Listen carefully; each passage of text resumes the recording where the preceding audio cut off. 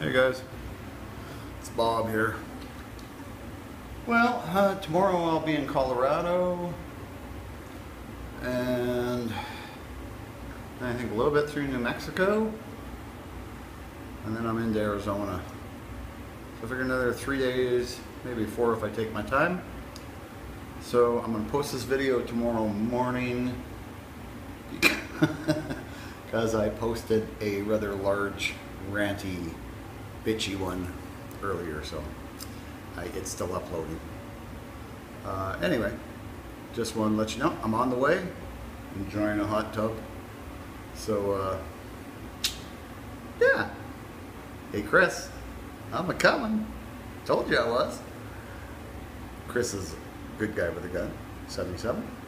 He's uh, my buddy.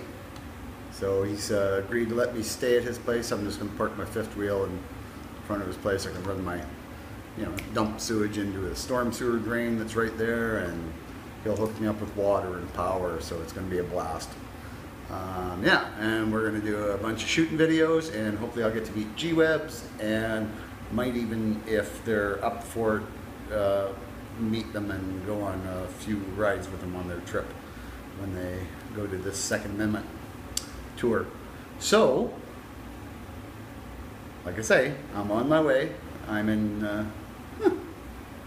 Damn, why can't I remember the name of this state? Anyway, it's right below South Dakota.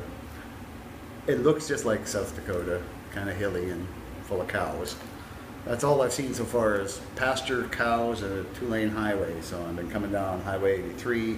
I gotta get off it now to veer over and cut through Colorado to get to Arizona. So anyway, guys, I'm on my way. Be there soon. Might post a few more videos on the way. What the hell? Uh, see you there. Stay cool, everybody. It's Biker Bob 59 signing off.